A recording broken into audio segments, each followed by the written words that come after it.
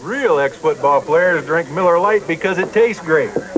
Why do you little ex-field goal kickers drink it? Because it's good. For great taste, there's only one light beer, Miller Lite.